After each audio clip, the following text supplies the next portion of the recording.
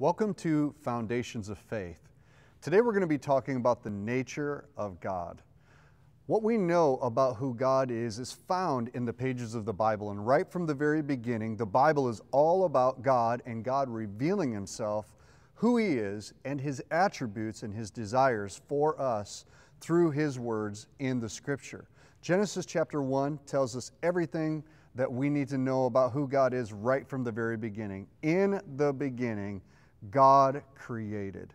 So, what we know about God is that He was there when everything began and that He is the one who created everything from that point.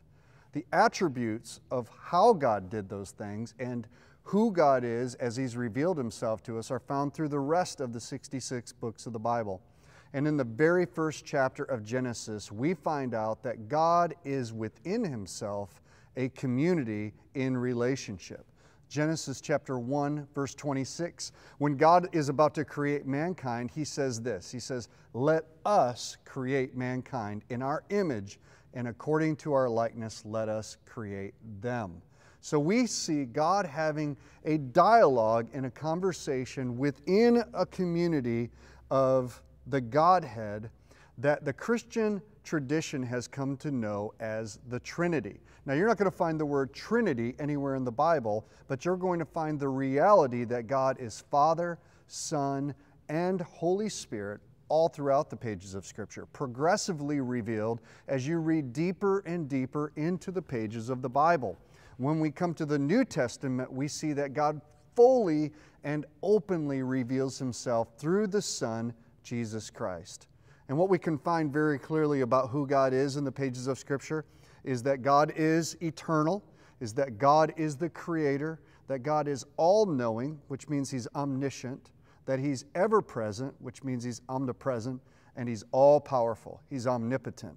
There's so many other attributes that flow out of that, such as love and justice and uh, power and might, all those different types of things. But it's important that we understand that when we're talking about God in the proper sense, that we understand that the nature of who God is is that He is triune. He is Father, Son, and Holy Spirit. The Father being the one who from which the Son and the Spirit receive direction and are sent. The Son who is eternally God, John chapter 1, verse 1 says that in the beginning was the Word, and the Word was with God, and the Word was God. The Word is the Son of the living God who was revealed in the person of Jesus Christ. He's the Word that was made flesh, but He's also eternal with the Father and with the Holy Spirit. Jesus, the Word of God, was born of a virgin, Mary. He lived a sinless and perfect life, and Jesus, the Son of God, is the one who went to the cross and was our substitute, dying for the sins of the world on the cross, and then being raised by the Father three days later.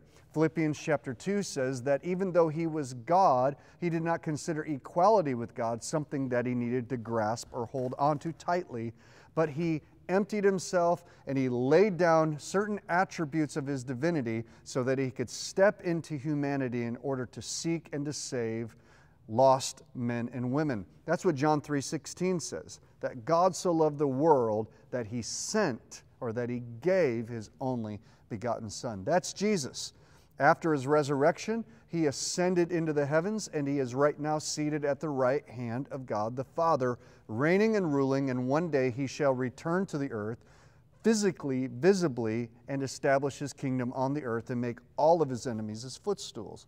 The third person of the Trinity is referred to as the Holy Spirit or the Spirit of God. We see both the Father, the Son, and the Holy Spirit all present in creation. The Father said, which is the Word, let there be light. And it says, and the Spirit of God was brooding over the waters, over the deep, calling all of creation out from the void and the emptiness. And just as we see the Father, Son, and Holy Spirit working together in Genesis, we see the Father, Son, and Holy Spirit working together in the book of Matthew at the very beginning of the new creation, where the Father makes a declaration that He's sending the Son the Word is impregnated into Mary, this young woman, and the Spirit of God overshadows her and supernaturally causes there to be a conception of the Son of God Father, Son, and Holy Spirit. The Holy Spirit is not just a force or an energy, the Holy Spirit is also the Lord. Second Corinthians says that where the Spirit of the Lord is, there is freedom. The book of Acts talks about Ananias and Sapphira who lied to the Spirit of God. And when Jesus gave the baptismal formula for how his disciples should baptize new believers, he said, baptizing them in the name of the Father and of the Son and of the Holy Spirit. The Holy Spirit has emotions. The Holy Spirit can be grieved. The Holy Spirit releases joy. The Holy Spirit is the third member of the Trinity Father, Son, and Holy Spirit.